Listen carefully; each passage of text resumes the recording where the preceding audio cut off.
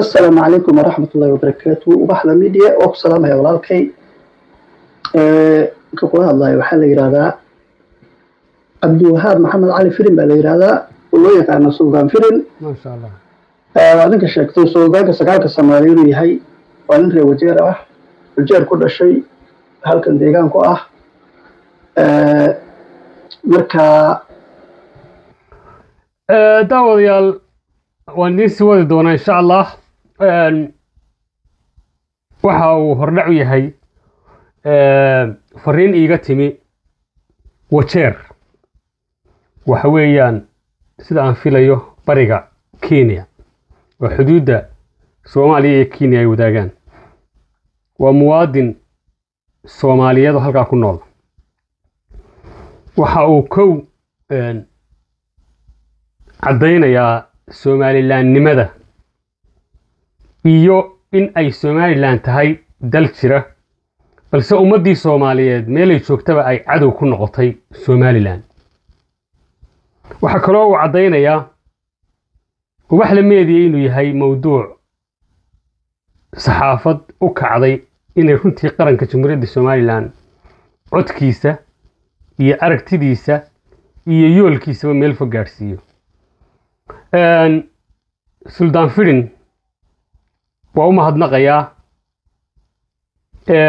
codkiisana insha allah waa idinla wadaagaya haddii alla ka dhigo waxa uu suldaanku caddaynayaa ka hadlayaa meesha la yidhaahdo wajeer waxa uu caddaynayaa in somalilan cadow badan oo soomaaliyeed ay leedahay soomaali intay leekaydna ay somalilan cadow u noqotay sidaa darteed ay bulshada reer somalilan u baahan tahay in ay mar walba cadowgeeda isha ku hayso inay mar walba ka feejignaato meelaha ay maxaa la yidhaha cadowgeedu ka soo gelayo in bal ay isweydiiso maxay soomaaliya ula col tahay? Oo ay garan la'dahay sababta soomaaliye. Uu garan la'yahay isagu suldaan ahaan sababta soomaaliye. Ay somalilan ula col tahay.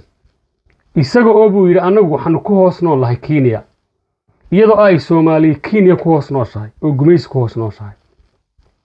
Iyadoo ay soomaaliya etoobiya ku hoos nooshahay oo ay gumaysi ku hoos nooshahay iyadoo soomaaliya maxaa la koonfur joogta ay argagixiso iyo madax duub iyo maxaa la yidhahdaa khawaarij isaga taag la'dahay iyada oo soomaaliya ay halkaa taagan tahay sababta ay somalilan oo wax qabsatay oo caalamka inay ka mid noqoto doonaysa oo hore u socoto oo la og yahay waxa ay soomaalina u tari lahayd sababta ay soomaaliya ula col tahay buu la yaabaya isagoo soomaali ah isaga oo kenya jooga isaga oo dadka wajeer ku dhashaya isaga oo dadka maamulka soomaali soomaaliyeed ee kenya ku hoos noola isagoo dadka soomaaliyeed ee kenya ku hoos noola ah ayuu wuxuu la yaaban yahay somalilan oo xorowday oo dal adduunka ka mida horena u ahayd iminkana inay noqoto doonaysa. Sababta ay soomaali lugta u hayso. Sababta ay soomaali cadowga ugu tahay.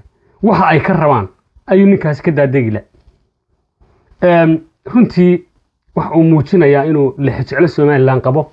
Waxa uu muujinayaa inuu yahay nin jecel somalilan inay caalamka ka mid noqoto. Waxa uu waaninayaa oo la yaaban yahay war soomaali waxa somalilan daba dhigay buu la yaaban yahay. Innaguna markaa walaalayaal maadaama kii wajeer ku noolaa uu qirayo horta marka hore inaynu somalilan toosino oo runtii wanaagga aan somalilan la jecelahay isna uu halkaa isagoo jooga lexjecladiisa ka muujiyey. Iyo sidoo kale soomaalida cadowga ku ahay aynaan inooba muuqaninba aynu innagii isku meeraalaysanayno. Ayuu runtii maxaa la yidhahda aad iyo aad ula yaaban yahay. Fariintiisa dheer ee wanaagsan ee lexjeclada somalilan muujinaysa ee uu ula yaaban yahay sababta somalilan ummaddu cadowga ugu tahayna uu ilaa iyo halkaa iga soo diray. Isagoona garanaynin isagoon aqoon ii lahayn keliya uun halkaa saxaafadda igala socda inaan ahay muwaadin somalilandera oo dalkiisa difaacaya qarannimadiisa difaacaya ummaddiisa wax wanaagsan u sheegaya. Ayuu isaguna gartay inuu ummaddeeda wax wanaagsan iila sheego oo isna ila tilmaamo. Inuu ummadda soomaaliyeed ay meelay joogtaba somalilan cadow u noqotay ayuu caddaynaya. Bal daawadayaal waxaan jecelahay inaan codkiisa wada dhammaysano insha allah haddii alla ka dhigo aniguna taladeedu waxa weeye war waynu aragnaa walaalayaal soomaali inta ay leekaad cadowba inoo noqotay war bal un intaynu fadhiga ka kacno aynu inagu inagoo isku duuban qarannimadeenna wadajir wada ilaashano. Wax wixii kale aynu isku hahaysanana gudaheenna yaysan dhaafsanaanin insha allah haddii alla ka dhigo. Aniguna mawduuca aan u kacay marnaba midaan ka daalaya ma aha. Waa kaa ummad soomaaliyeed meelay joogtaba soo jiitay. Waa kaa ummad soomaaliyeed meelay joogtaba ay talada ka bixinayso. Waa kaa ummad soomaaliyeed ay u aragtay wax soomaali oo dhan u dan ah. Mar walbana ogaada somalilan waxa wanaagsan iyo tallaabaday qaado waa lagaga daydaa. Maanta tallaabadaynu qaadnay ee aynu musuqmaasuqa kula dagaalamayno ee aynu qofka xun kula dagaalamayno aynu mas'uulka aan aqoon iyo caqli iyo aragti fog midna inagu kordhinaynin ee inuu inaga dhaqdo uun inoogu imanaya iska ilaalino. Intaasoo dhan markaynu ka midowno soomaaliyada inagu dayanaysa. Soomaaliyada wanaagga inaga qaadanaysa insha allah haddii alla ka dhigo waadna aragtaane bal suldaan fidin. Aan warkiisayna siiya insha allah mar kale. Asalaamu calaykum waraxmat ullahi wabarakaatu ubaxda media waa ku salaamaya walaalkay ninka kula hadlayo waxaa la yidhahdaa cabdiwahaab maxamed cali firin baa la yidhahdaa oo loo yaqaano suldaan firin. Waa ninka sheegtay suldaanka sagaalka soomaaliya inuu yahay waa nin reer wajeer ah wajeer ku dhashay halkan deegaan ku ah. Marka baraha bulshada youtube-ka hadday tahay iyo facebooka meel walbaan kaala socdaayo. Ya maasha allah baa tahay walaalo allah ku xabido horto inaad wanaagsan baa tahay sida qadiyadda somaliland aad u difaacayso ood runta u sheegayso. Aad iyo aad ba wallahi kolley youtubeki iyo facebook cabdi maxamed baa ii qoran. Marka laygtaasaan aan ku saray aadan ku dhegeysta wararkaadooda waa la socdaa. War aad soo dhigtay oonan dhegeysanin ma jiro. Maasha allah waa ku hambalyaynaya dadaalkaado. Run ahaanti wallahi waa anigu waa yaabay magaaladan aan joogo ummadda dad aan weligood soomaaliya aanan arag somalilan aan arag wax ilaahay untay oo somalilan kala dhexeeya ay leeyihiin somalilan waa maamul goboleed. Somalilan badegatay ka we somalilan somalilan naceebkan meel wana ka socday iyo meel ku socdaan ba garan waay. Ma garatay. Marka maalin walbaan isku baaba'anay oo dood lafta ma fahantay inaan ka dhaadhiciyo isku dayaa oo afar labaatan saac intaa difaaca aad ku jirto kaleeto adigu milyan soo dhigtay anigu ma soo dhigo wallahi aan ku jiraa dilgeysas yani anagu horta anigu reer muxmed aan ahay suro reer muxmed bayaan ahay nin diraho suro reer muxmed baan ahay qof nin kasta oo reer muxmed ama sure ena meel kasta uu joogo somalilan difaacidaas uu taagan yahay alxamdulilah ya laakiin reer somaliland ma ogo oo iyagu waxay leeyihiin mataqaanaa ya waxay mararka qaar ba waxay kuleeyihiin or dir baa madareeda waxaan isku dhahma ya marka walaalow dulmiga meesha ka socdo iyo waxa wax loo dulqaadan kara maaha sanadka waa sannadkii ictiraafida somaliland ma garat insha allah waa la ictiraafayaa marka codka waxay san kugu soo duuro kugu soo diraysa seeheed ya marka saas la soco insha allah waad layla soo xiriiri kartaa sometimes waad soo qaban kartaa wixii su'aalood rabto waad weydiin kartaa ma garatay insha allah hataa codkaas aan kuu soo diray xalay aan kuu soo diray fasax baa u tahay waad sii diri kartaa meesha rabtaa u diri kartaa fasax baa u tahay ma garatay waa gartay. Inuu gaaro waaba jeclaan laha ismaaciil cumar geelle inuu jeclaa inuu gaaro codkaas waa jeclaan laha wallahi ya ismaaciil cumar geelle iyo abiye iyo kulli inuu gaaro waa jeclaan laha ma garatay insha allah marka dad la kala ilaalinayo waxay isku batiidin la leeyahay oo lakala gumaysigii iyo wax kala qaybiskiiba anagu nagu dhacaybo ya marka reerka la yidhaahdo boron yaa sidii loo cayrin lahay soomaalida iskugu tagtay la leeyahay soomaalinimadii laga saaray.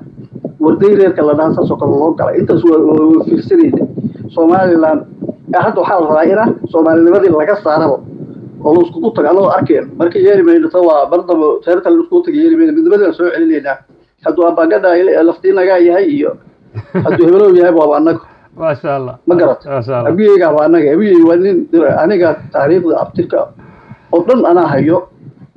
Marka wax alla wax aad aad rabto waad ila soo xiriiri kartaa way soo weydiin kartaa walaal. Waana ku salaamahaya barasho wanaagsan baana ku leeyahay. Ubaxle uma ku aqaan aniga suldaanku aad iyo aad buu mahadsan yahay suldaan fidin ka hadlayay buu ahaa maxaa la yidhaahdaa meesha la yidhaahdo wajeer. Runtii qodobo muhiima uu taabtay wuxuu yidhi cadaawadda somaliland lagu hayaa waxa weeyaan aakhirka reer somaliland soomaalinimada laga saaro kuwo horaa laga saaray buu yidhi oo aynu daawanayna dad baa jira buu yidhi markaa doonaya qofka wanaagsan inay soomaalinimadaba ka saaraan. Horta anigu somalilan baaba nala yidhahda haddaad doontaan soomaali iyo waxaad doontaan naga saaro oo waxba noo qorshaysanba inaanu magaca xataa somalilan bedelo haddii alla ka dhigo insha allah. Oo aanu magac maxaa la yidhahdaa so- soomaali ma aan lug aanu la baxno insha allah. Waayo dee soomaali annagaa ugu horreynay wax hornimo qaata wax soomaali walaalnimadeeda raadiya wax soomaali midnimadeeda raadiya annagaa ugu horreynay. Halkii baanuna ka taaganay haddii soomaali wanaagsan la helo oo shantii soomaaliyeed laysla doondoonayo kaa wajeer jooga ka jooga ka jigjiga jooga ka muqdisho jooga iyo ka hargeysa jooga haddii laysla doonayo annagu halkii baanu ka taaganaa insha allah. Laakiin inta mar haddii la kala tashaday annagu somalilan baana la yidhaahdaa. Haddaanu doonana magacaanu bedelaynaa suldaankana waa u mahadnaqayaa walaalayaal idinkana waxaad leeyahay insha allah haddii alla ka dhigo reer somalilaanow een, waan u dirayaa haddii alla ka dhigo warkan suldaanka whatsapkiisa uu igala soo xidhay baan ugu dirayaa. Waa inuu halkaa ka arkaa sida aad runtii hiilka uu wajeer idinka soo diray inaad commentka haddii alla ka dhigo aad iyo aad aad maxaa la yidhahdaa salaan qiimo badan suldaanka ugaga dirtaan. Barnaamijka maantana qaybtiisa labaad intaa ayaan idinku ekaysiinaya waa waxla media 24 waana xaruntiisa magaalada birmingham. Maalintu waa khamiis afarta abriil sidoo kale shan iyo labaatanka ramadaan. Waxaan rajeynaya insha allah inagoo faraxsan oo nabad qabna inaynu dhammaan ummadda islaamka ah maalinta ciidda nabadgelyo ku gaadhna insha allah. Intaan mar dambe is arki doonno sidaa iyo nabadgelyo